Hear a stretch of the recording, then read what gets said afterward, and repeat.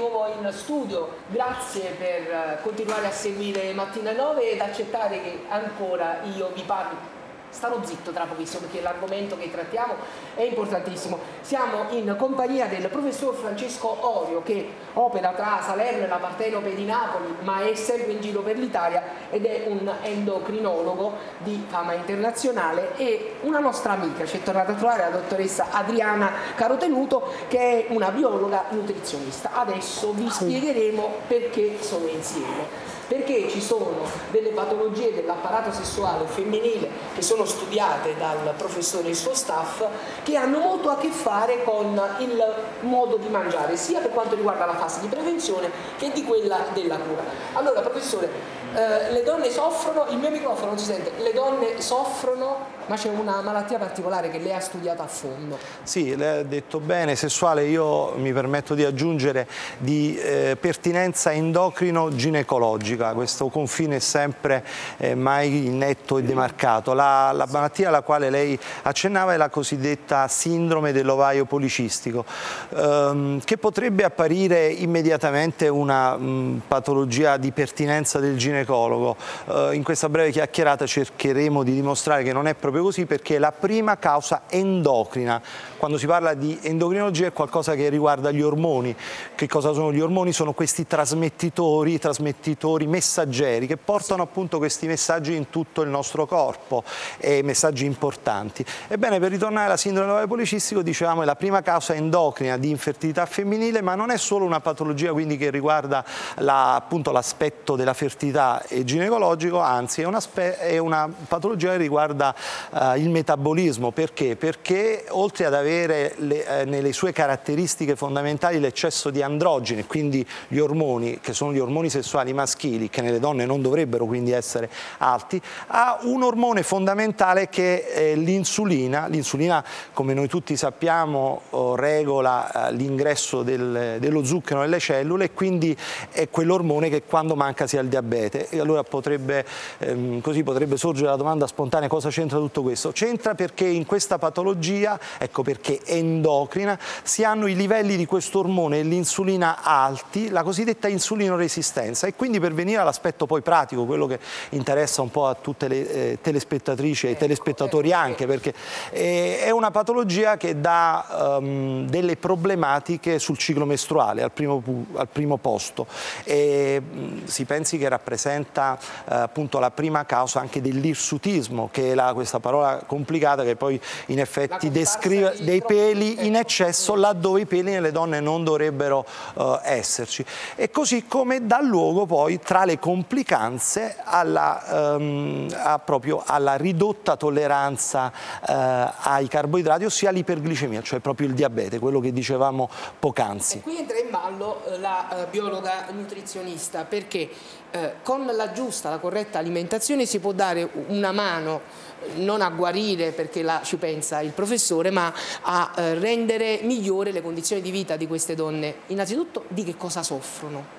Queste allora, sicuramente... di fastidio, di dolore, allora, sicuramente eh, attraverso l'alimentazione è possibile prevenire e comunque aiutare eh, queste donne che appunto, come diceva il professore, soffrono di sindrome metabolica, quindi hanno un'insulinoresistenza, generalmente hanno un aspetto un po' più androide che ginoide, eh, cioè le donne normalmente accumulano eh, nella stragrande maggioranza dei casi adiposità nella regione trocanterica, eh, quindi nella regione dei glutei, delle cosce. Questo tipo di donna che soffre di questa patologia molto spesso accumula grasso nella nella zona addominale, quindi un po' più simile al sesso maschile, proprio per la presenza di questi, di questi ormoni sessuali maschili, come diceva il professore. Quindi dal punto di, di vista alimentare sicuramente cerchiamo di basare una dieta sullo schema mediterraneo, non a caso proclamato patrimonio immateriale culturale dell'umanità nel 2010, cercando di avere un indice glicemico basso. Uh, però qui vorrei fare una specifica, nel senso che uh, l'alimento a basso indice glicemico glicemico che ormai è diventato quasi una moda va bene, ma bisogna prestare attenzione al carico glicemico dell'intera giornata rispetto all'alimentazione. Uh, quindi sicuramente una dieta equilibrata, sicuramente una dieta con un basso carico glicemico e quindi ad esempio mangiare un piatto tipico della dieta mediterranea come uh, dei cereali integrali con dei legumi potrebbe essere un piatto con un basso indice glicemico, con un buon pool proteico uh, che può rappresentare la dieta mediterranea ma anche un carico glicemico basso. Quindi comunque la sana alimentazione a prescindere fa bene. Professore, ma eh. si può guarire eh, da questa patologia o bisogna controllarsi per tutta la vita? Si può guarire, rispondo alla sua domanda, sicuramente questa è una patologia che dà eh, diversi segni e caratteristiche e quindi è un po' eh, la cosiddetta terapia fatta su misura sartoriale, quella che noi utilizziamo anche per il diabete, perché a seconda se la donna sarà più giovane o meno giovane o avrà desiderio di gravidanza oppure avrà problemi di acne, lo ricordiamo vediamo l'altro segno o di irsutismo, ma mi piace ricordare a quanto diceva la, la collega ehm, sulla, sulla, cura, sulla terapia. Basti pensare che nel, il 50% di queste donne eh, giovani o quindi adolescenti o anche meno giovani sono obese. E quindi la prima terapia, questo anche il mondo eh, diciamo, dell'accademia, della ricerca scientifica anche anglosassone ha posto la perdita, i cosiddetti interventi e lo stile di vita al primo posto nella cura di questa sindrome. Il nostro gruppo di studi è stato il primo, proprio eh, come ricordava la dottoressa, a eh, dimostrare come un buon approccio con una dieta mediterranea risolve delle problematiche, diversamente da quello che ahimè talvolta eh, qualche collega fa, ossia imbottisce queste giovani donne di ormoni. Quindi bisogna fare attenzione, il mio motto è gli ormoni fanno tanto bene quando sono necessari, ma ahimè fanno male e fanno danni se ad esempio li assumiamo noi che non ne abbiamo abbiamo bisogno. Giustissimo. Eh, dottoressa Caro Tenuto, eh, queste donne che vengono eh, da lei ehm, sono anche provate psicologicamente, no? certo. non solo dalla sofferenza ma anche da questo mutamento estetico. Sì. E, quanto occorre per riportarle eh, ad una condizione in cui magari si accettano di più? Allora, I tempi ovviamente sono strettamente correlati al grado di sovrappeso e o obesità che hanno queste donne, quindi non si può parlare di tempi in maniera generica, ma dipende dal singolo soggetto. Certo ci sono tecniche più o meno veloci, eh, esiste una dieta particolare che è la dieta proteica, eh, che eh, ovviamente viene fatta sotto stretto controllo medico, quindi nei nostri ambulatori unicamente in equip, e se la paziente viene eletta per poter aderire a questo protocollo e cioè eh, risulta eh, i suoi parametri ematochimici sono in linea con eh, la possibilità di praticare questo protocollo eh, è possibile avere una riduzione della circonferenza addominale eh, e quindi eh, anche del sovrappeso e quindi una perdita di peso anche molto più veloce rispetto alle diete tradizionali. Ovviamente sono trattamenti medici eh, per cui non vanno confusi con delle diete che vengono prese ormai da tutti i tipi di siti internet, ma se fatte bene sotto controllo medico possono portare al paziente un miglioramento soprattutto psicologico perché perdono peso in pochissimo tempo, riescono ad avere un effetto anoressizzante, so, stanno bene psicologicamente per tutta una serie di motivi metabolici e per tutta una serie di motivi biochimici che si scatenano durante questa terapia, perché è una terapia, eh, dopodiché eh, ecco l'intervento del nutrizionista che deve riportare però questi soggetti a un'alimentazione eh, normale, inserendo e reintroducendo eh, tutti i macronutrienti nelle giuste quantità, quindi carboidrati, proteine e grassi.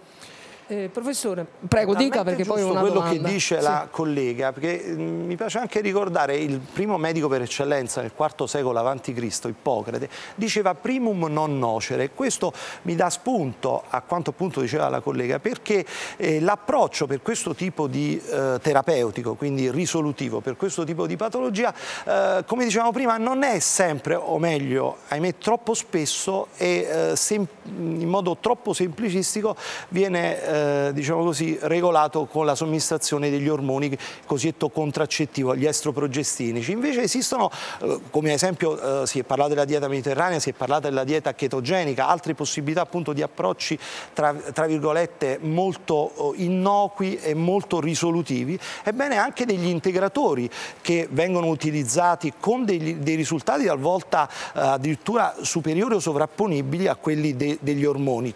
Uno su tutti è l'inositolo, soprattutto il mio inositolo che è uno zucchero che noi praticamente produciamo e che eh, risolve spesso questi peli in eccesso, la, regolarizza il ciclo mestruale e migliora talvolta anche la fertilità. Quindi prendendo proprio spunto dai vari approcci di regime alimentare è importante ricordarci le possibilità Quindi terapeutiche. Un ritorno alla piena forma mi fa piacere, ma soprattutto, eh, professore, io me la voglio spendere tutta.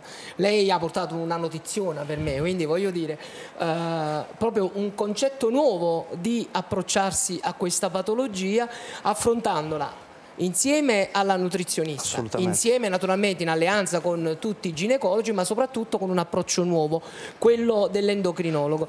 Eh, lei ovviamente è un professore, lo insegnerà ai suoi studenti, ci sono anche delle pubblicazioni no, che lei fa dove eh, è possibile attingere a queste notizie. Mi fa piacere che lei mi dà questo spunto perché è dimostrato nella letteratura medica scientifica, che è quella poi un po' che, che, che dà l'indirizzo non solo sulla diagnosi ma soprattutto sulla terapia, che è quello che poi interessa ovviamente alle nostre nostri pazienti, a, a, a tutte le, le, donne, è fondamentale ricordare che eh, questa scienza va eh, sulla linea della anche attività fisica, oltre che dall'approccio dietetico. Come dicevamo prima, modifiche di stile di vita. Basti pensare che un'attività fisica regolare di tipo aerobico, cioè quella che si fa bruciando ossigeno, ossia la classica corsetta, la camminata a passo svelto o la ciclette, 40-45 minuti con un protocollo appunto dimostrato scientificamente per 5-6 giorni a settimana, oltre a far perdere peso, migliora i tassi di eh, fertilità, di ovulazione. Quindi come diceva lei è supportato dalla scienza, non è,